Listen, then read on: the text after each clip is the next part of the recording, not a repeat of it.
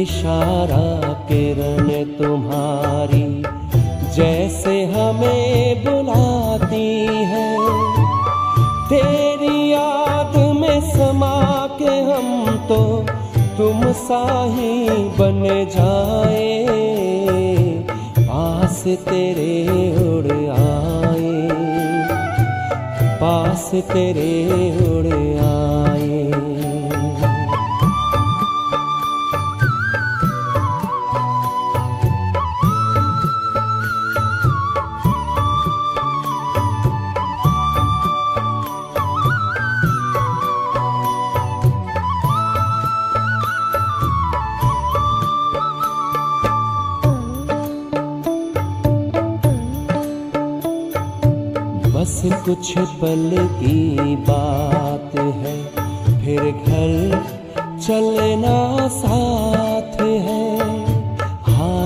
हाथ तुम्हारे बाबा। प्यार की बरसात है। संगम युग में संग में तेरे हर पल मिलन मनाए। पास तेरे उड़ आए। पास तेरे उड़ आए।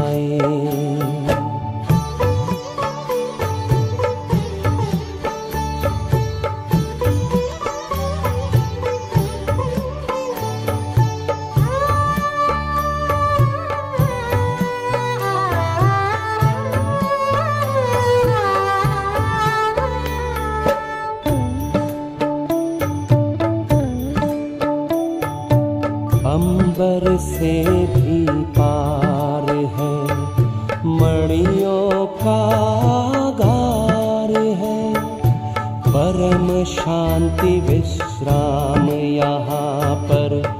ज्योति का भंडार है। परमानंद सुधा नैनों से वसुधा पर छलकाए। पास तेरे उड़ आए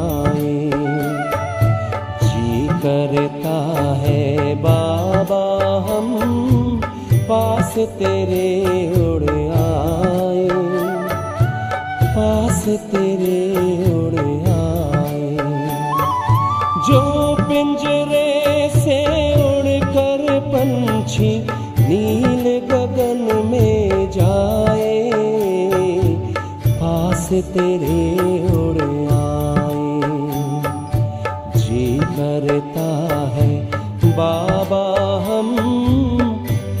पास तेरे उड़ आए, पास तेरे उड़ आए।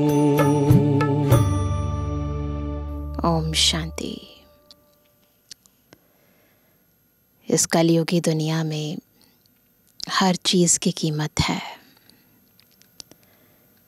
ज्ञान तो बहुत महँगा हो ही गया है, क्योंकि बच्चों की पढ़ाई की फ़ीस फिर उसके बाद नौकरी के लिए भी बहुत कुछ देना पड़ता है। कोई भी चीज़ हम लें, चाहे अपने से भी लेते हैं तो वो भी सोचता है कि इसके बदले में क्या मिलेगा।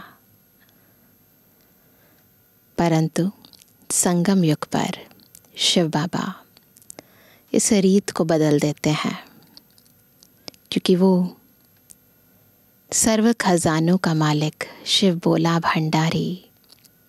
हमारे सब भंडारे अविनाशी खजानों से मुफ़्त में भर देते हैं।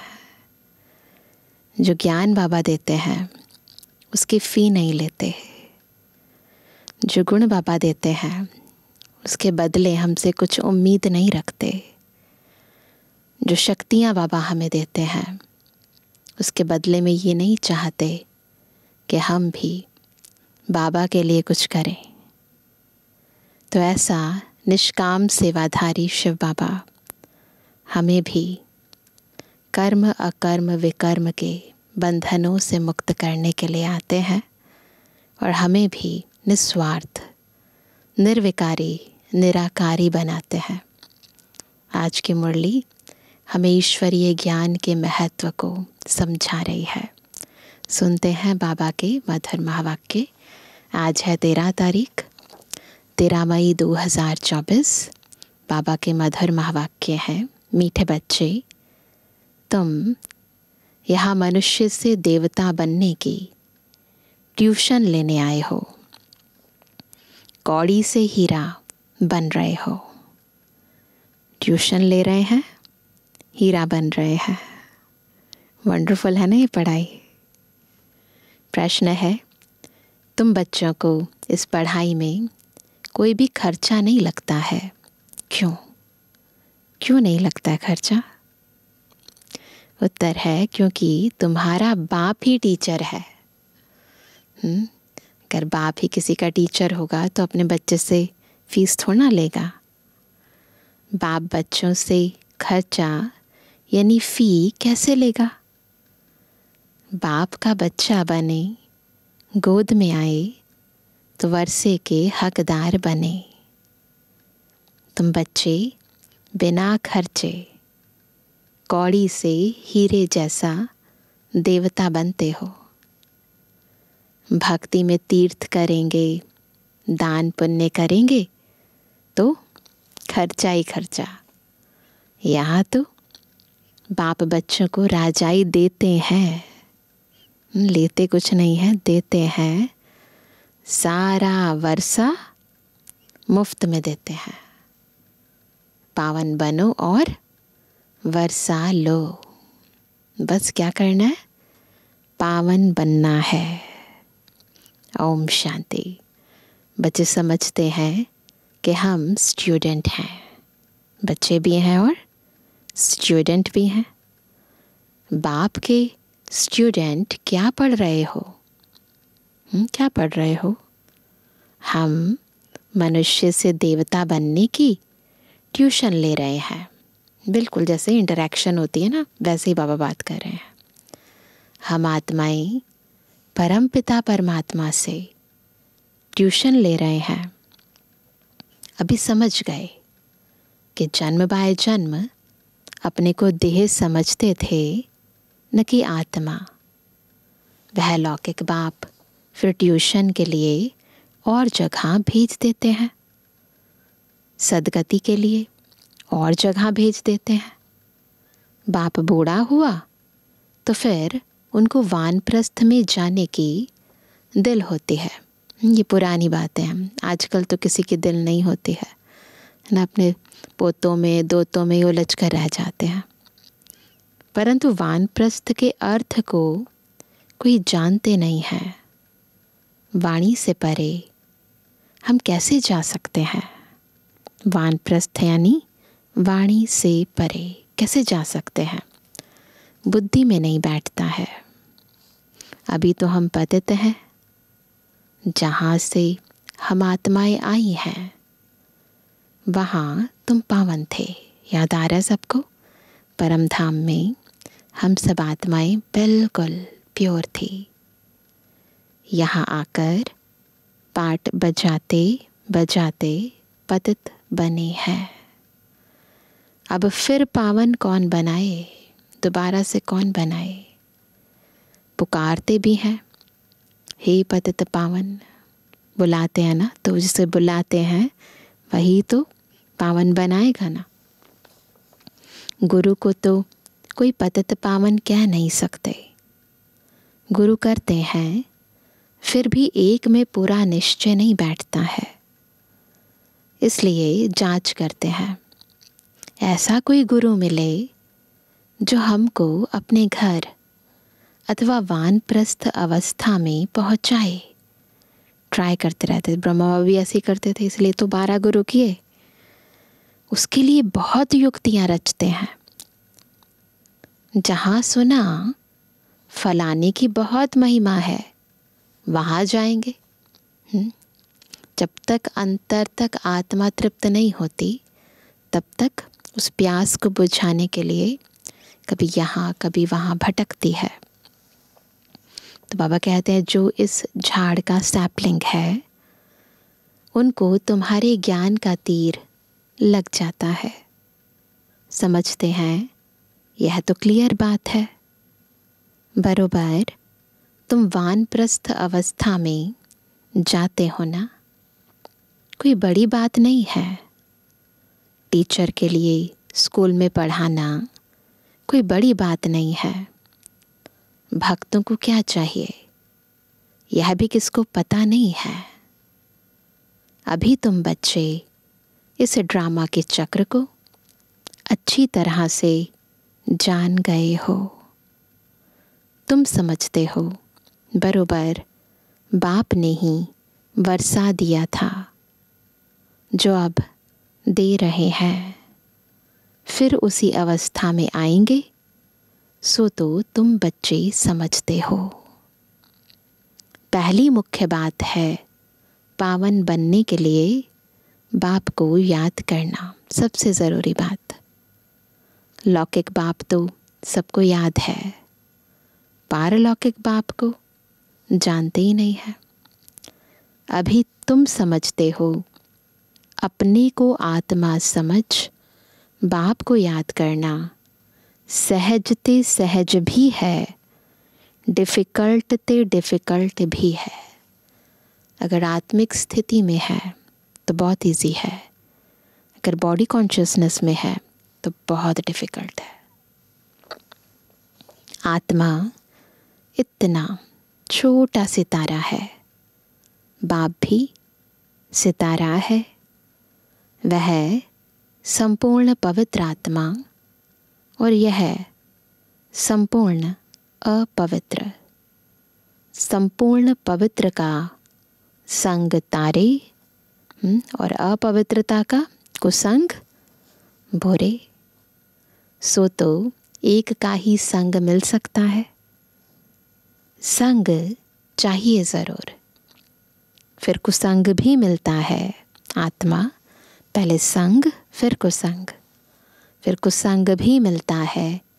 पाँच विकार रूपी रावण का।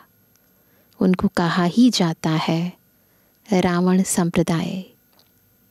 तुम अभी बन रहे हो, राम संप्रदाय।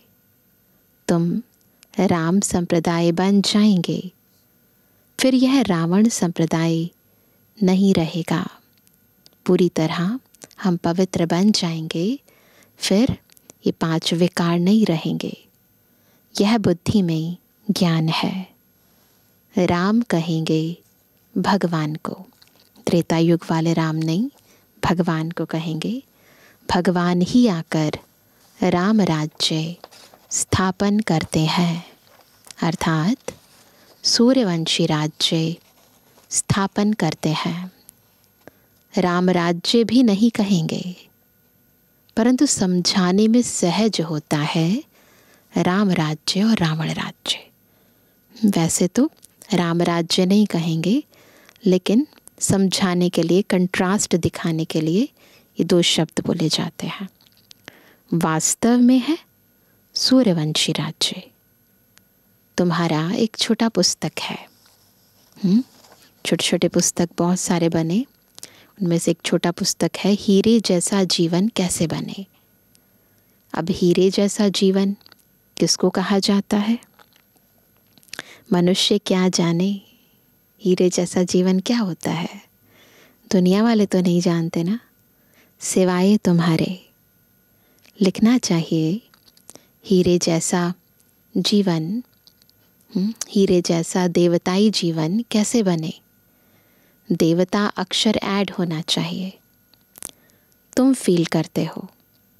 हम हीरे जैसा जीवन यहाँ बना रहे हैं। वो जो वैल्यू बढ़ती है ना आत्मा की जो चमक बढ़ती है आत्मा की। अंदर गुण धारण होते हैं शक्तिशाली बनते हैं। यह अनुभव केवल हमारे पास है। तो बाबा कहते हैं, सिवाय बाप के और कोई बना ना सके। किताब है अच्छा उसमें यह अक्षर सिर्फ़ ऐड करो, हीरे जैसा देवताई जीवन कैसे बने।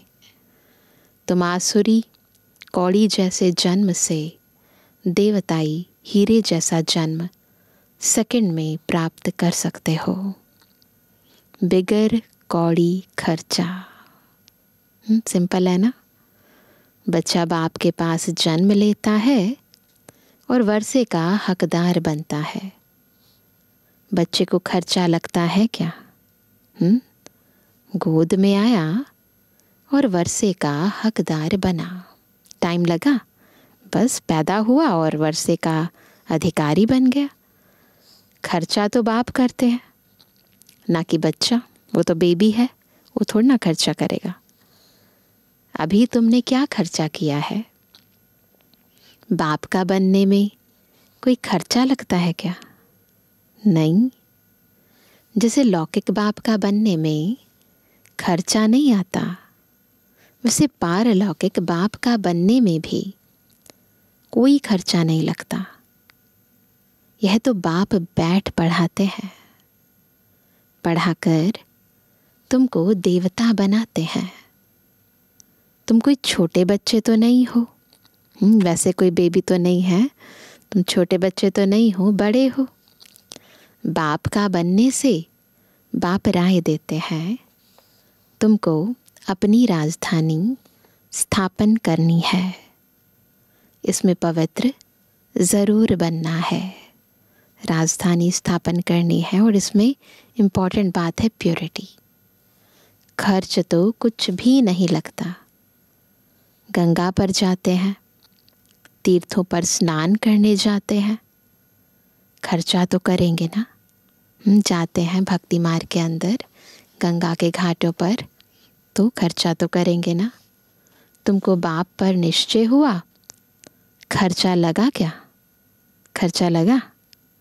तुम्हारे पास सेंटर्स पर आते हैं। तुम उनको कहते हो, अब बेहद के बाप का वर्षा लो बाप को याद करो। बाप है ना? बाप खुद कहते हैं, मेरा वर्षा तुमको चाहिए, अगर चाहिए तो पतित से पावन बनो। तब पावन विश्व के मालिक बन सकेंगे। यह भी जानते हो, बाप बैकुंठ स्थापन करते हैं। समझदार बच्चे अच्छी रीति समझते हैं। उस पढ़ाई में खर्चा कितना होता है? यहाँ खर्चा? कुछ भी नहीं। उस पढ़ाई में तो बहुत खर्चा होता है।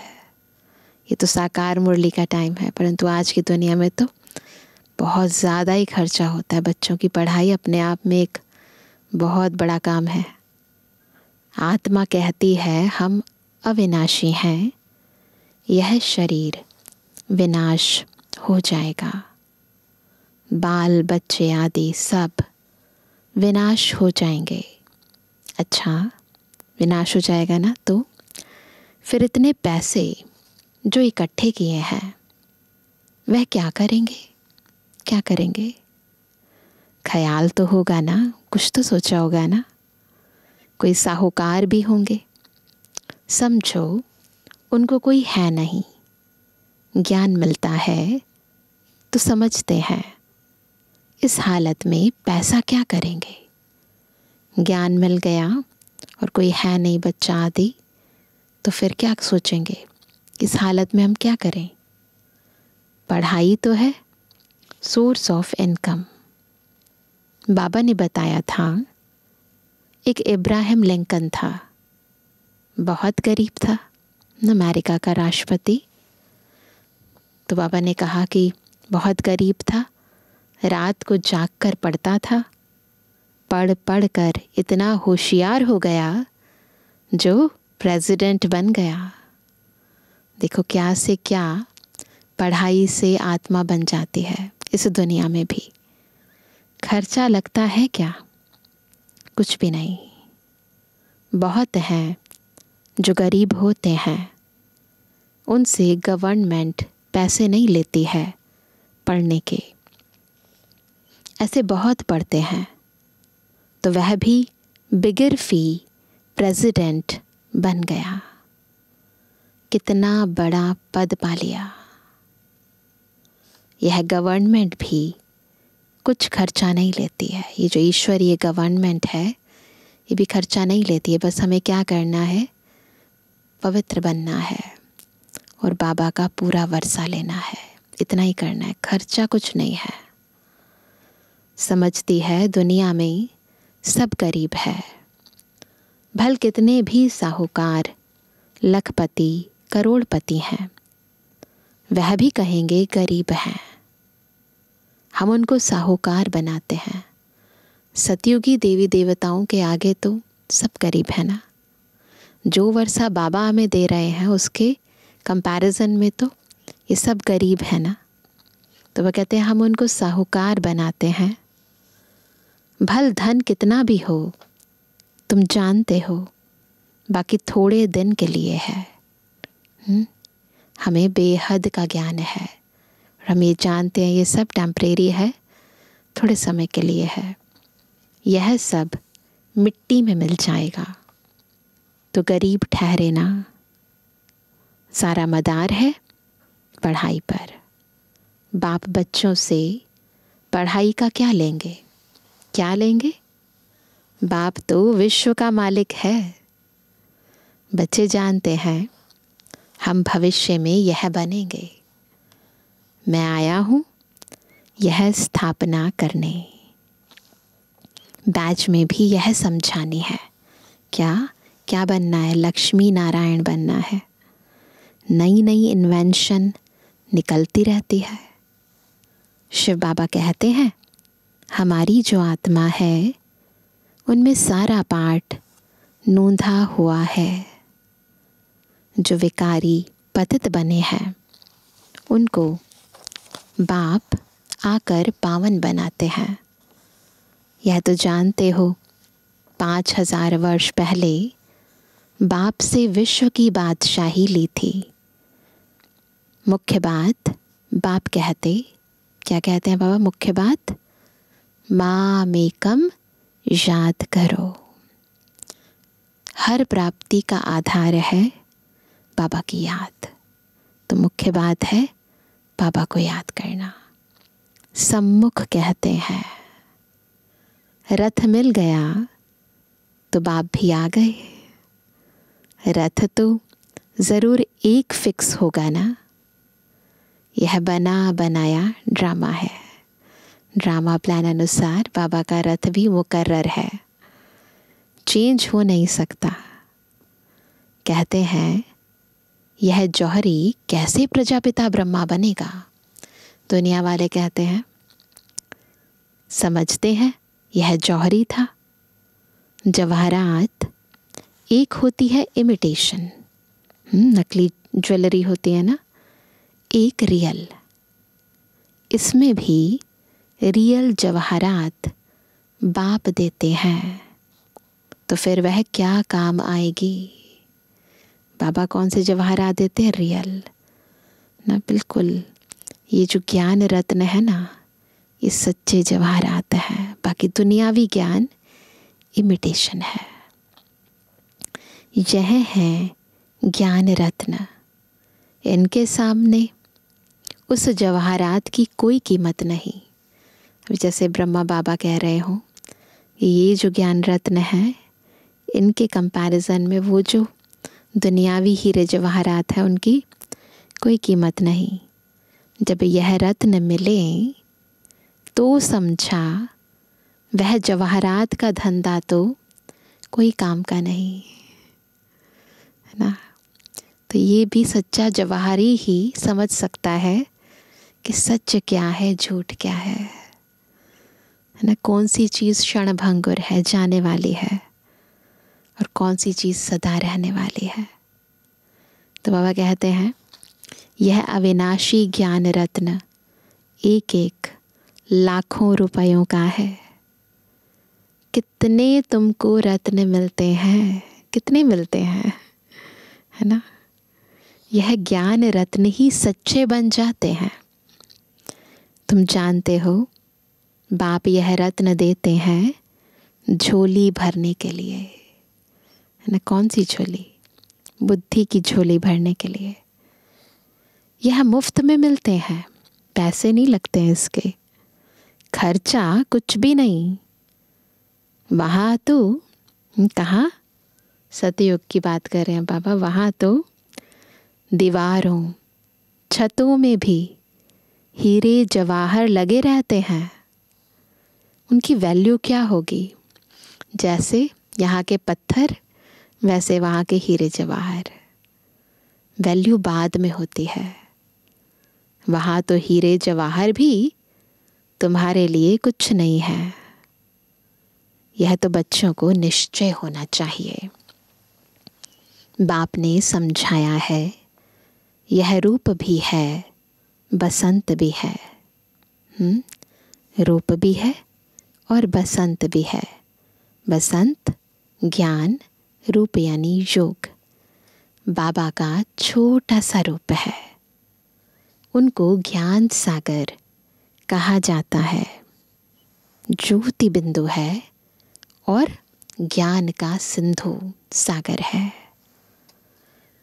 यह ज्ञान रत्न है, जिससे तुम बहुत धनवान बनेंगे। बाकी कोई अमृत व पानी आदि की बरसात नहीं है।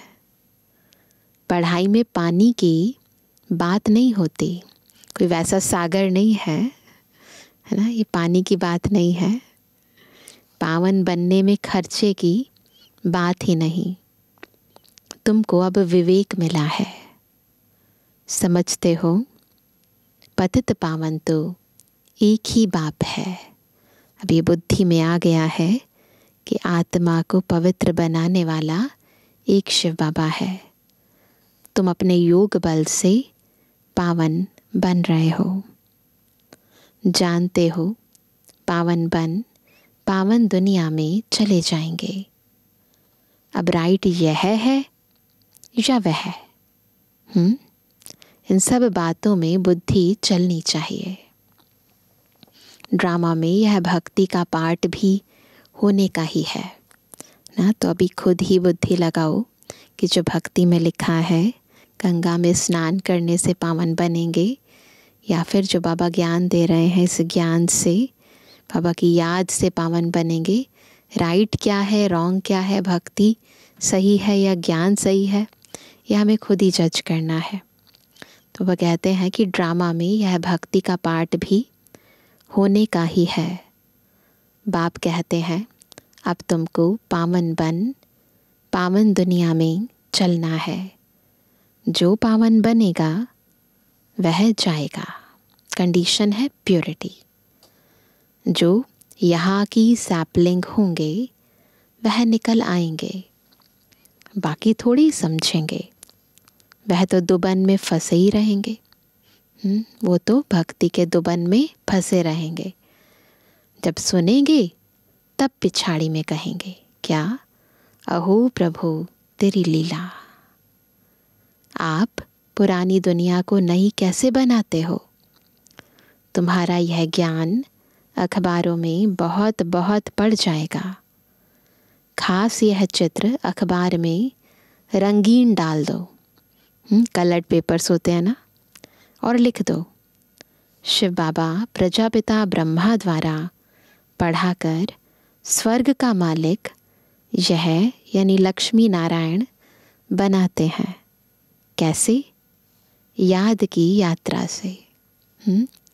याद करते करते तुम्हारी कट उतरती जाएगी। आत्मा पर जो जंक लग गई है, उतरती जाएगी।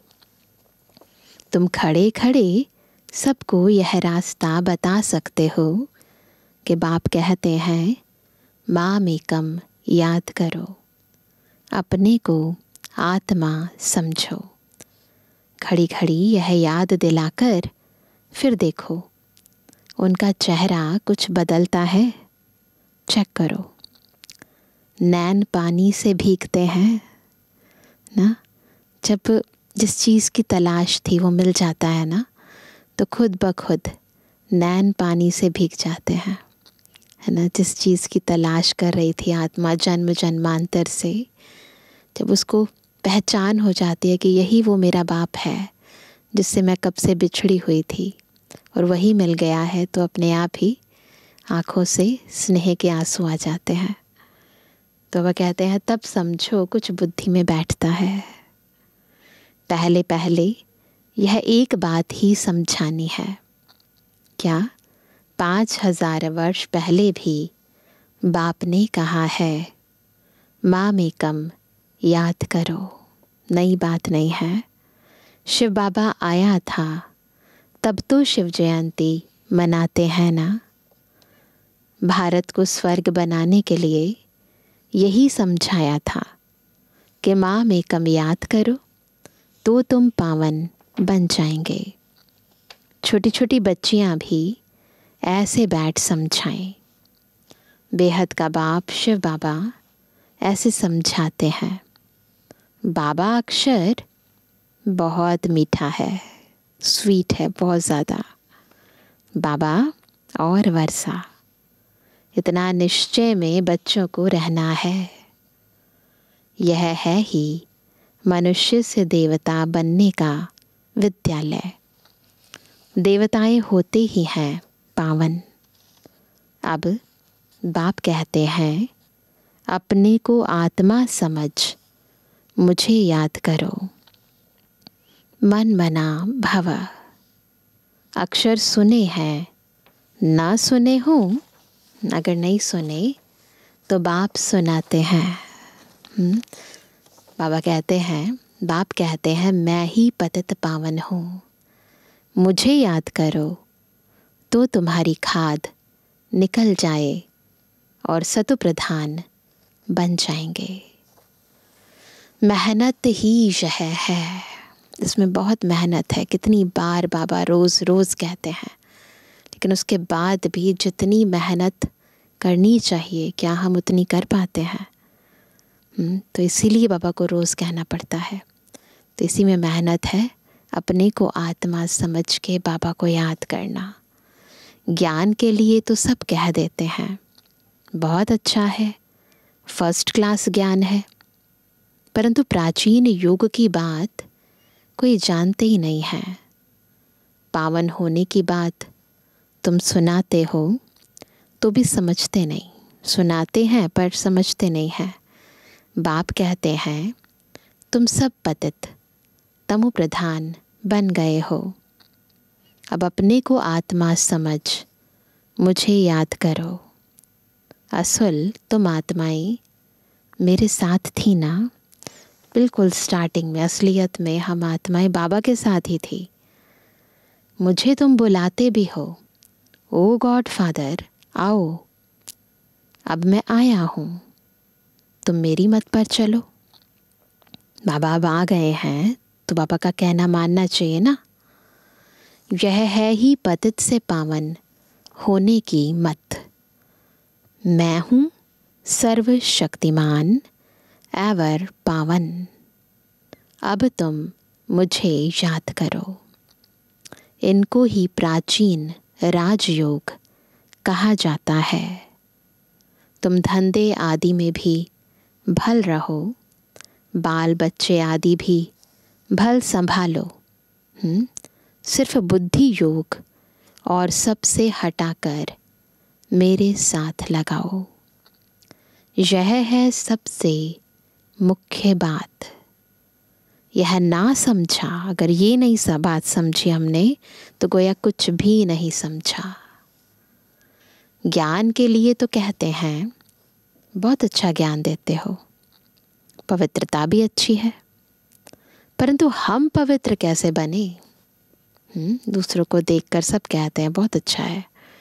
हम कैसे बने? हमेशा के लिए यह बात समझते नहीं। देवताएँ हमेशा पवित्र थे ना? ना सदा पवित्र थे। हम्म, वह कैसे बने? यह बात पहले पहले समझानी है। ये बात समझानी है कि पावन कैसे बनना है। बाप कहते हैं, मुझे याद करो। याद से ही पाप मिट जाएँगे और तुम देवता बन जाएँगे। अच्छा किसी के बच्चों बाप दिल जान प्रेम से प्रसाद अनुसार याद का रूहानी बच्चों की, रूहानी बाप दादा को, गुड मॉर्निंग, नमस्ते नमस्ते नमस्ते। धारणा के लिए मुख्य सार, पहला, स्वयं को गरीब से साहूकार बनाने के लिए बाप से अविनाशी, ज्ञान रत्न लेने हैं। यह एक एक रत्न लाखों रुपयों का है। इनकी वैल्यू जानकर पढ़ाई पढ़नी है। यह पढ़ाई ही सोर्स ऑफ़ इनकम है। इसी से ऊंच पद पाना है। दूसरा, राम संप्रदाय में आने के लिए संपूर्ण पवित्र जो एक बाप है, उसका ही संग करना है। कुसंग से सदा दूर रहना है। सबसे बुद्धि योग हटाकर एक बाप में लगाना है। वरदान है शक्तिशाली याद द्वारा सेकंड में पद्मों की कमाई जमा करने वाले पद्मा पदम भाग्यशाली भव। कैसे बनेंगे पद्मा पदम भाग्यशाली? जब शक्तिशाली याद से एक सेकंड में पद्मों की कमाई जमा करेंगे। हुँ? आपकी याद इतनी शक्तिशाली हो, जो एक सेकंड की याद से पद्मों की कमाई जमा हो जाए, जिनके हर कदम में पदम हो। तो कितने पदम जमा हो जाएँगे? हम्म? इसलिए कहा जाता है, पद्मा पदम भाग्यशाली। जब किसी की अच्छी कमाई होती है तो उसके चेहरे की फलक ही और हो जाती है है ना? पैसे वाले होते हैं, खूब धन हो रहा है, वर्षा हो रही है तो चेहरे की चमक बता देती है। तो आपकी शक्ल से भी पद्मों की कमाई का नशा दिखाई दे। ऐसा रूहानी नशा।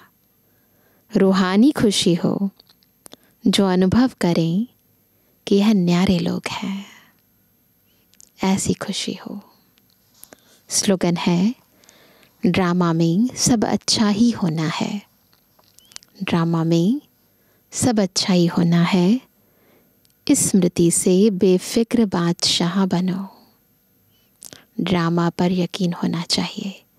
जो हो रहा है जो हुआ था और जो होगा सब अच्छे ते अच्छा होगा है ना? तो आज सभी ईश्वरीय याद में हम्म, निरंतर रहने का अभ्यास करेंगे। सदा काल किया राज्य लेना है सदा काल के लिए पवित्र बनना है तो निरंतर योगी कर्म योगी बनने का अभ्यास भी करना है। चेक करना है अपने भीतर कि कौन से कारण हैं जिसके कारण हमारी बाबा के साथ जो याद की डोरी बंधी हुई है वो टूट जाती है। उन कारणों को उन बातों को ध्यान में रखकर उनका निवारण करना है। हम्म, चेक करना है क्यों वो मेरे मुझे अपनी तरफ़ खींचती हैं? क्यों बार बार मेरी बुद्धि वहाँ जाती है? तो चेक करेंगे। फिर उन्हीं प्राप्तियों का आधार बाबा को बनाकर निरंतर याद का अभ्यास बढ़ाते जाएँगे। तो सारा दिन चेक करेंगे और फिर बीच बीच में चेंज करते जाएँगे। कर्मयोगी बनने का अभ्यास करेंगे। अच्छा? ओम शांति।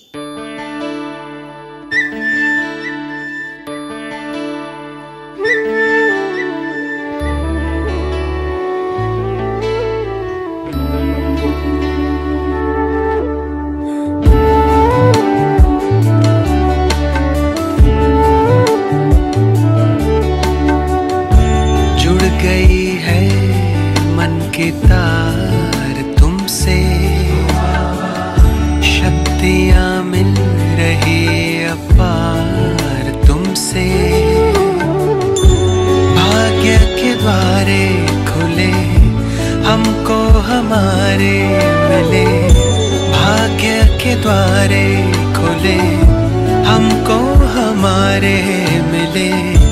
आए जीवन में ये बहार तुमसे, ओ बाबा। जुड़ गई है मन की तार तुमसे, शक्तियाँ मिल रही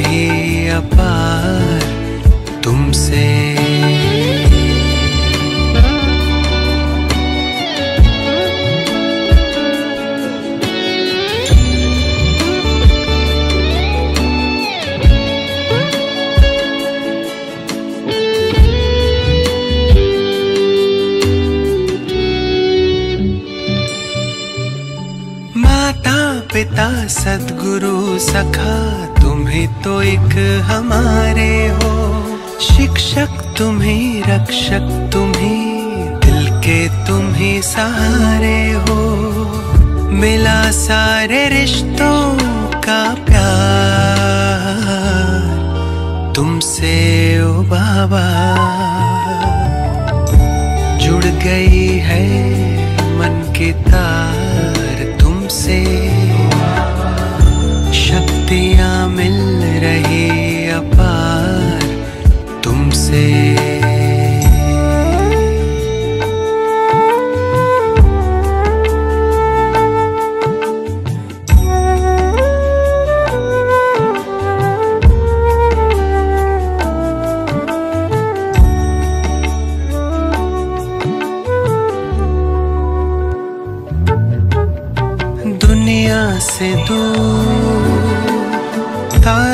तारों तुम मुझे ले आए हो कांटों से दूर फूलों की छाँव।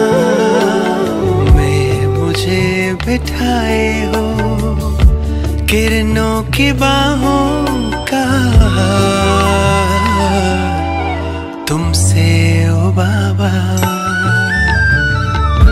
जुड़ गई है की तार तुमसे।